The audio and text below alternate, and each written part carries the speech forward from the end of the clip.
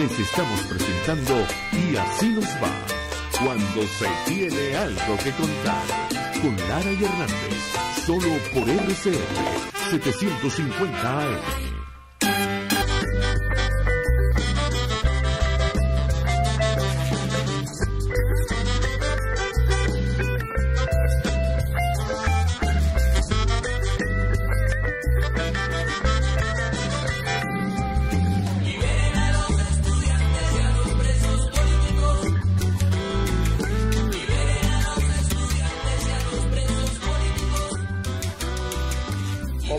Saben, nosotros en Y Así Nos Va hemos hecho, hicimos mucho seguimiento y seguimos haciendo esa revisión del caso de Matthew Heath, ya hoy en día excarcelado, trasladado a los Estados Unidos, además en una negociación que causó revuelo porque fue la famosa negociación que trajo de vuelta a los sobrinos de Cilia Flores a Venezuela y sobre ese caso de Matthew Heath, nosotros hemos cortado bastante tela en este programa. De hecho, luego de que se produce su escarcelación, conversamos con otros de los eh, familiares de los involucrados en el caso que permanecen detenidos y hay personas todavía detenidas por ese caso.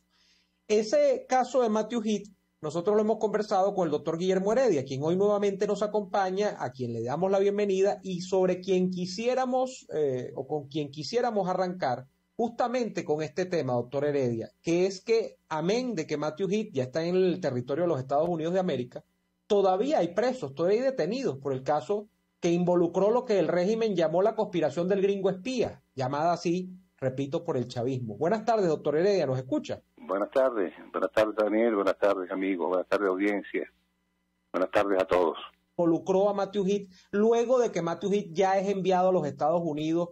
¿Qué ha pasado con los demás detenidos por este caso? Porque se supone, uno parte de la lógica, no, no como abogado, sino como ciudadano común, que es que si ya Matthew Heath es enviado a los Estados Unidos, uno supone que el caso debería prescribir o el caso debería pues ya cerrarse porque no hay culpabilidad, no es culpable ni Matthew Heath ni, ni son culpables las otras personas.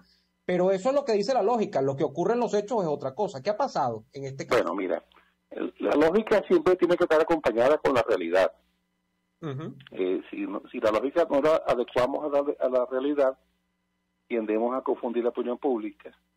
He oído opiniones que han hecho que este es un proceso, eso es un montaje. Tan lo es así que yo demostré en proceso, como un hecho notorio comunicacional, que la presión de Matthew fue del 9 y el acta de aprehensión es de fecha 11 cuando hicieron todo un movimiento otro detenido. Debo explicar bien para que la audiencia esté bien clara. Matthew, Matthew John Hitch no fue indultado, no fue amnistiado. Matthew John Hitch no murió. Matthew John Hitch no fue sobreseído. Matthew John Hitch, en el caso de que hubiese sido un delito de acción privada, no fue perdonado. Él estaba en proceso. Eh, el fiscal con competencia nacional en esa materia de terrorismo, hizo una petición de una medida cautelar, una medida humanitaria. Yo me sorprendí porque esa medida yo la había pedido, eh, una medida humanitaria, en razón de su condición psiquiátrica severa, extrema, que él incluso intentó, atentó contra su vida. Y no me habían dado respuesta. Así pues me entero en la madrugada de un buen día que había habido una, se había ejecutado una revisión de medidas a petición de fiscal. Le explico a toda la audiencia qué es una revisión de medidas. Nuestro Código Orgánico Procesal Penal permite en el artículo 242, en nueve supuestos, la revisión de las medidas cautelares por una menos gravosa siempre y cuando garanticen la comparecencia y los fines del proceso. O sea, yendo a los extremos para que para que proceda la privación judicial preventiva de libertad, se revisa la medida, se llama medida cautelar sustitutiva y eh, se ejecuta de acuerdo a la modalidad. A Matthew, el fiscal pidió para él eh, la nominada del 242 de la noveno, con la cual simplemente tenía que presentarse ante el tribunal. Pero en vez de pasar de presentarse al tribunal, me entero que es llevado a un avión y el avión eh, con vuelo, según el plan de vuelo y según fue hecho público por el régimen, eh, vía San Vicente y Granadina, donde se habría producido un canje de En este punto voy a hacer una observación de tipo profesional, personal y moral. Solamente se intercambia el prisionero en tiempo de guerra. Solamente se intercambia el prisionero cuando hay una guerra y se intercambian los prisioneros, los de aquí y los de allá. El resto son tratados que deben ejecutarse. Si Matthew John hubiese sido condenado, hubiese sido canjeado por alguien, no canjeado, enviarlo a Estados Unidos a que cumpla su condena allá, para eso tratado en ese sentido. Acaba de ejecutarse uno con Perú, hemos tratado con Cuba. Si Matthew John Hitch hubiese sido indultado, él iba a haber sido deportado. Si Matthew John Hitch hubiese sido amnistiado por ley de amnistía, a haber sido deportado. Indulto es perdón. Amnistía es extinción de la acción penal por ley. Eso es una facultad legislativa. Cuando el presidente está habilitado, puede, puede amnistiar. En este caso, Mateo recibió una medida cautelar sustitutiva, con la cual su causa no cesó, no terminó.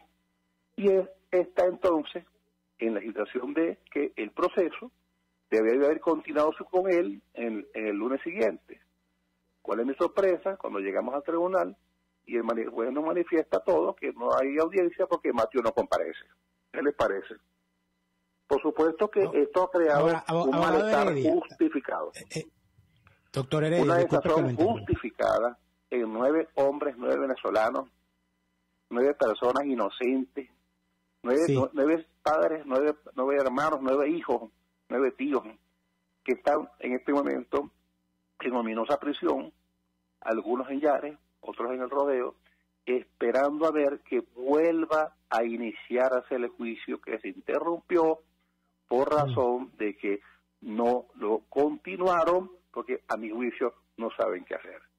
Ahora, abogado Heredia, fíjese lo siguiente, usted nos dice que eh, usted prácticamente se enteró, al igual que nosotros, que a su defendido se lo, habían sacado de Venezuela y se lo habían entregado al, gobierno de, su mina, canje de prisionero, porque no se puede llamar de otra manera. Eh, ocurrió, según lo que usted ha podido hablar o conocer posteriormente con su defendido Matthew Heath, a él lo sacaron de Venezuela a un punto intermedio y allí fue literalmente intercambiado. llamémoslo así, o de prisionero, en el concepto que yo acabo de explicarle es un negocio, es un negocio, un negocio Estado a Estado. Es una operación, es un canje, es un negocio, por negociación, te doy este y me das aquel, te doy este y me das el otro. Se produjo en una conversación en la cual no estuve presente. Yo hice varias peticiones de libertad, pedí revisión de medidas, pedí medidas de seguridad, custodia de Mateo en el hospital militar donde se encontraba, en tratamiento, en sedación, incluso bajo observación psiquiátrica se encontraba. Eh, me entero, como nos enteramos todos, nos desayunamos todos, con un vuelo, un avión eh, oficial eh, que llegó a San Vicente y la Granadina, y allá otro avión este, de Estados Unidos, un Gulfstream, este, llevaba a, los otros personas y en la pista se produjo la operación. Lo demás es historia, amigos. O sea, una, un, un intercambio real. Toma a tu gringo, dame a mi sobrino. Eso fue lo que ocurrió. Claro y ahora, entonces, uno, pero entonces, eh, doctor, disculpe, disculpe, porque eh, eh, las cosas como son. El principal acusado fue liberado y fue enviado a los Estados Unidos. Por lo tanto, nunca se pudo hacer un juicio donde se demostrara culpabilidad o comisión alguna de delito. No es lo que indica la lógica este humilde servidor, sin ser abogado, lo que indica la lógica es que no habiendo delito demostrado y no estando ya él hace rato en libertad, ¿qué excusa usa el régimen para no liberar a estas nueve personas, a estos nueve este, venezolanos? Cuando te hice, cuando te di explicación de que Mateo no fue amnistiado, me fue indultado, no hubo perdón de, ningún tipo, sino una cautelar, decía que el proceso seguía para todos, incluso para él. Entonces, aquí nadie fue declarado inocente. Aquí no hubo pronunciamiento sobre la inocencia de nadie, ni siquiera de él. Aquí no hubo pronunciamiento que extinguiera la acción penal. Explico, explico, a la opinión pública, a lo que son legos. La acción penal, una vez que se activa, solamente llega a fin por los, por los, términos que establece la, la, la extinción o por la sentencia.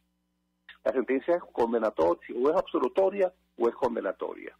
Y se extingue por vía distinta la sentencia de acuerdo a los mecanismos previstos en el Código Orgánico Procesal Penal para la extinción de la acción penal, amnistía, indulto, muerte del procesado.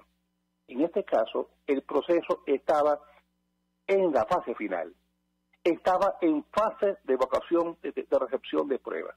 Estamos casi cerca ya de las conclusiones. Estamos casi cerca de una sentencia. Y antes de que nada de eso pasara, se produce la liberación de Matthew, se, produce la interrupción del proceso por, quebrantamiento de la continuidad, porque el tribunal tiene que explicar por qué se quebrantó el proceso, porque no debió quebrantarse, ¿entiendes? Y ahora hay una situación más extraña todavía. Es cierto, eh, la palabra injusto suena desde el punto de vista moral. Es injusto que él haya sido liberado, los demás detenidos. Es verdad, es verdad, es injusto. Pero el problema es el siguiente, que la medida no alcanzó a los demás. La injusticia estuvo en la forma como el Fiscal hizo la petición. ¿Por qué el fiscal Ministerio Público hace una petición para Mati y no a todos? Esa es la pregunta que habernos hecho todos nosotros. La pregunta que debemos hacernos. Porque cuando estamos haciendo una defensa en estrado, la hacemos en el razón del colectivo. En el caso de Matthew, es detenido en un taxi con cuatro personas más. Todos ellos, según el, acta falsa elaborada por el DGCIN, había un lanzacuete, había un explosivo, había una ametralladora, había otras cosas. Nada de lo que había cuando lo tuvieron. Cuando lo tuvieron no existía ninguno de estos elementos. Pero entonces, los tres compañeros de Matthew, todos fueron acusados por los mismos delitos. Luego empezaron a capturar otras personas que tienen que ver que si la dueña del carro, que la esposa la dueña del carro, con todos los procesados. Un ingeniero inocente, mira, eh, la, detención más absurda de este hombre, ingeniero Párraga, Zárraga. Y uno Zárraga es detenido porque le aparece un número de teléfono en una libreta, el número de teléfono que cargaba Mateo. Luego nos enteramos que el ingeniero Zárraga, días antes, había tenido un incidente político porque había concurrido a un acto con Guaidó.